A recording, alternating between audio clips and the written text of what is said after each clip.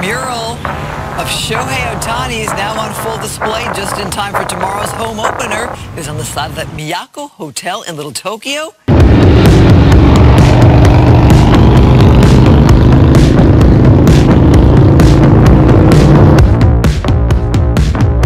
Welcome back. Shohei Ohtani hasn't even played a regular season home game yet for the Dodgers, and he's already a hero.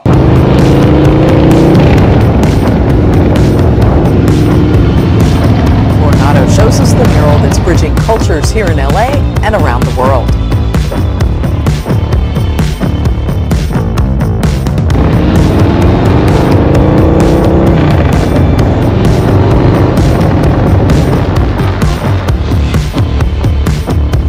We know fans have been raving about the mural before its formal unveiling, and today they showed up in their Dodger blue to commemorate the moment.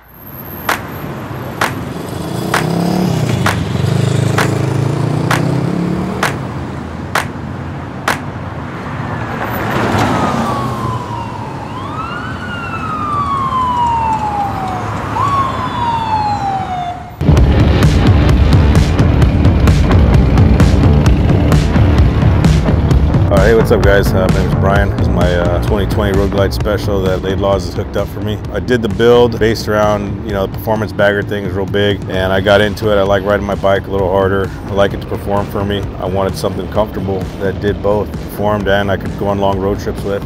I don't really do the bar hopping thing.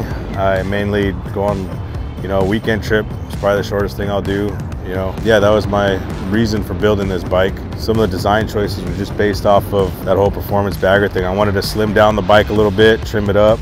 So I went with mids. I find those more comfortable than the floorboards and I still got my crash bars up there I could rest my feet on if I need to. I lightened up the bike with carbon fiber. I had the pipe done by HPI. That's a custom pipe. I wanted HPI because of their sound and their performance and no one was making up you know what I wanted for the mid controls that I wanted. Specifically these mid controls from Big Bear Performance is they don't attach to the motor or transmission anywhere. Kept the paint job pretty basic. I didn't want anything over the top. My personality is pretty mellow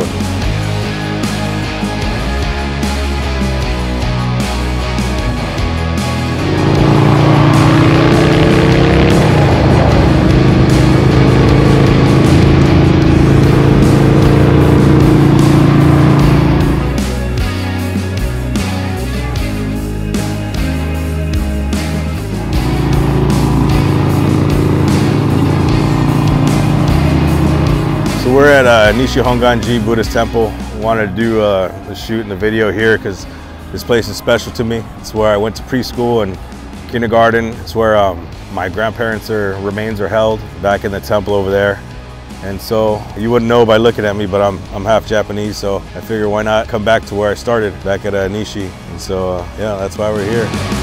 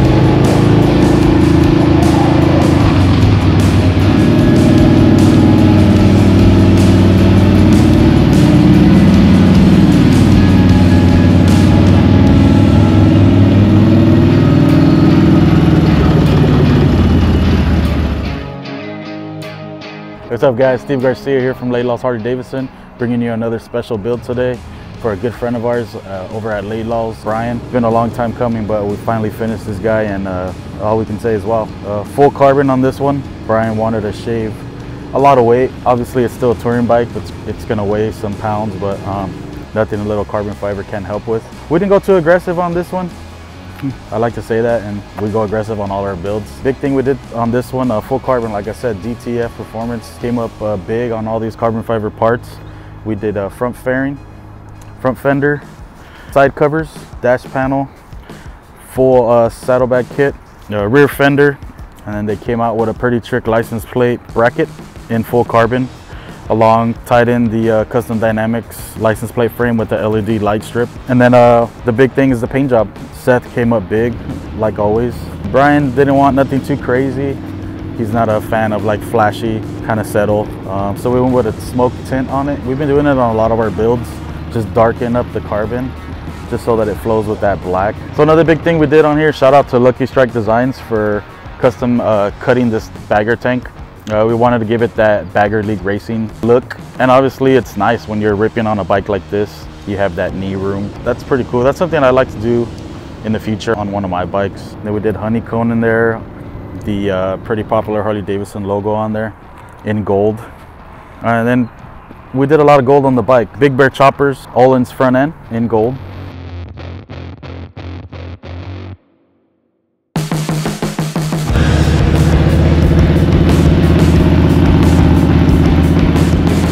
Then we went with a Fly Flymoto bar gold adjustable hand levers, clutch and brake, PSR levers, and then we had them powder coated by Andrews Powder Coating.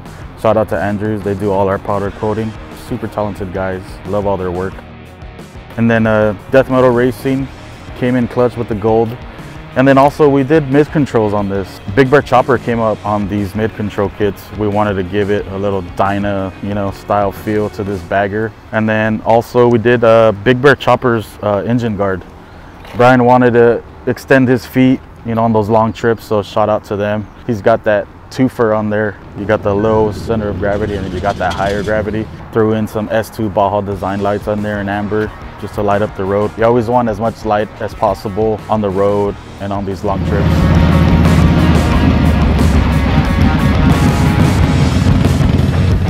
Did a BST carbon fiber wheels as well. Pretty popular wheel that came out. Like I said, we're trying to save as much weight as we can. The stock wheels are pretty heavy. So we went with the front and rear BST wheels. To accommodate the BST wheels, we went with the Galfer rotor and then inverted front end. Like I said, from Big Bear choppers, Brembo front and rear brake calipers. Uh, we did a custom dynamics turn signal in LED.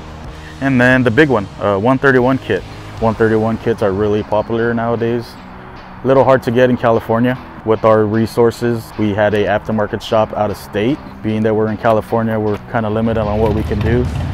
Would have been nice to do it in-house, um, but you know, California. But it came out good. We had a custom HPI pipe made for this motorcycle to accommodate the mid controls. And we put a Dynojet target tune on it to help out with altitude. We ride to Utah a lot, Zion out there, so it accommodates for the altitude. And then another big one, Track Dynamic swing arm, custom made for a belt drive. A lot of guys are doing chain. Chains are cool, you know, just a little messy, a lot of adjustment. We didn't want to worry about maintenance on this bike too much with that chain. And then Öhlins, 13 and a half in the rear with resis to accommodate Brian's weight. Brian's like me, he's a, he's a big boy. So, you know, we gotta uh, make sure that the bike's tip top. Pretty cool that you can adjust it on the fly. That's really popular right now, that look. Shout out to Öhlins. And then also we tied in that gold as well to the rest of the bike.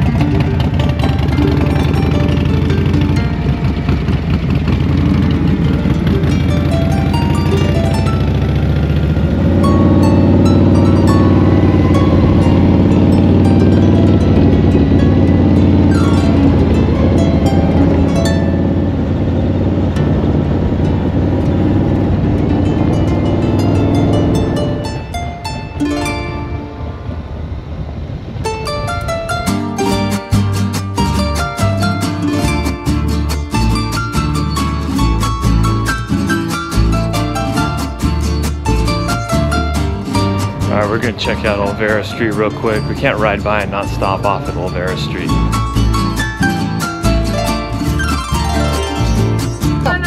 The one with the two colors? Yeah, the green and green and white one right there.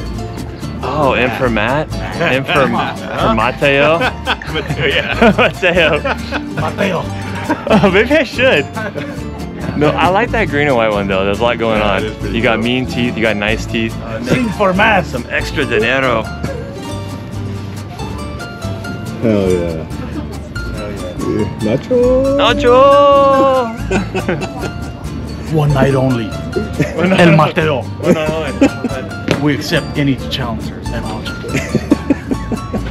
now I'm ready for Olvera Street. Oh, I gotta pay still, huh? I have to pay for it.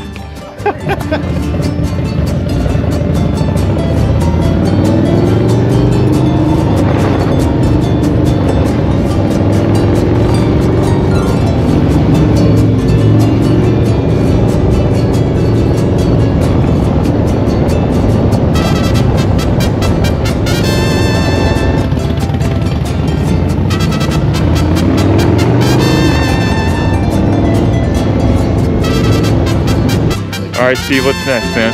Tacos or what's going on? No, we don't got time for tacos. What's next, dude? We're on the clock, man. Come on. Let's get to work. A Doyer shirt?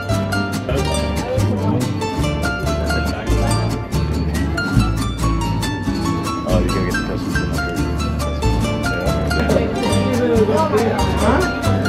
You gotta grow a mullet, man. A mullet? You gotta grow a mullet, dude. Dude, where's the Dia de los Muertos? We passed a few of those candy skulls. Do we? A little gift shop in here. They've been here since 1930. So cool.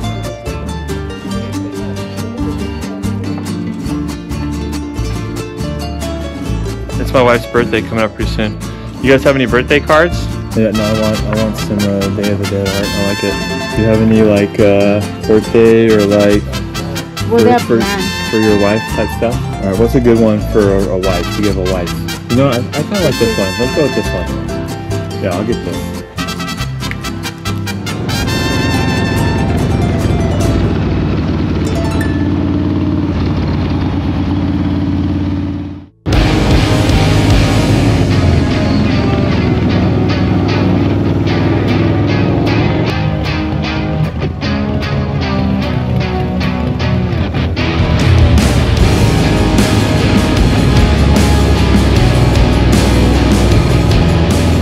Big fan of Kraus at the shop. I run it on all my bikes. Uh, we did the Raptor pull plate on it with the 12 inch pullback risers. We did a fly moto bar that we had powder coated uh, by Andrews. And then we did the gauge relocation kit by Kraus. We were trying to go a different route. Brian wanted his gauges up high. He kind of wanted them visible. We were trying to do a single gauge on it. But just being with back orders and time and trying to get things made, it was just turned into a headache. So we went to the good old Kraus gauge relocate and I like it. I run it on my bike. We do it a lot at the shop and it takes a little bit of getting used to, but it just overall looks great. We did a carbon fiber brake line just to tie in to the carbon fiber on the bike. DTF performance fuel tank and then Arlen Ness gas cap. A couple things that we're waiting on that were back ordered. Uh, the Trask performance intake to accommodate the 58 millimeter HPI billet aluminum throttle body. That is gold. Due to the back order issues, we had to run the Screaming Eagle 117 air cleaner. Not that it's bad, just wanted to really show the gold that's incorporated into the throttle body. So that's one of the upgrades that we're changing. We went the black hardware kit. Uh, we're still gonna switch out a couple bolts into black, get rid of that stainless look. Shout out to uh, LS Fab. We're running their bracket and two LP6. They're super bright. We run them on all our bikes. It's good to know that people are seeing you coming down the road. I don't know if they're giving me the finger or giving me the peace sign every time I pass by a car. Cool to know that I'm being seen as I'm riding. We split lanes out here a lot in California. It's kind of cool knowing that they see us coming down the road. Also shout out to Klock Werks. We run their windshields on all our bikes at the shop and it just works. It just gives a nice flow to the overall uh, look of the bike. We went with the rocker sound system on it. Another upgrade that we might switch in the future going to the stage two Rockford but these are these are pretty gnarly not gonna knock them they're they're pretty loud lucky Dave seat Brian kept going back and forth on seats we had the SDC seat with the little step up and then we had a Saddlemen and then he's seen this lucky Dave two up tuck in a row and it worked so I like it it's a great seat it gives you a, a little better feel a little more of a MX style ride. Other than that, the bike speaks for itself. It, it roars, it's, it's a beast. I'm super excited how it came out. Everyone at the shop contributed to this bike build. Overall, the bike's pretty sick.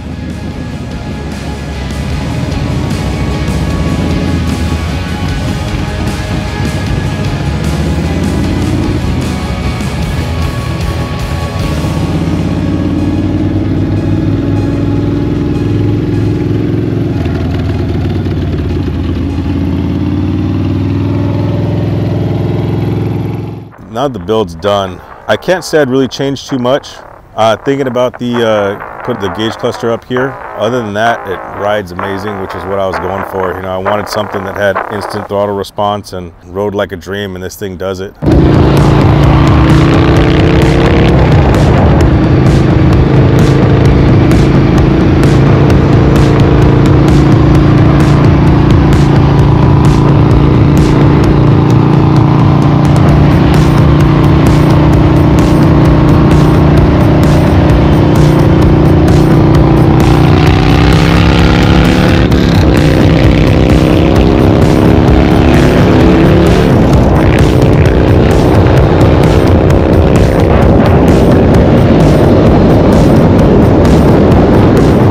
Road trips. I want to go back up to uh, Montana. That's where our last biggest road trip we took ended. My buddy's blown motor. So but um, yeah, I'd like to go back up to Montana, go through there, maybe cut back to Oregon, or who knows.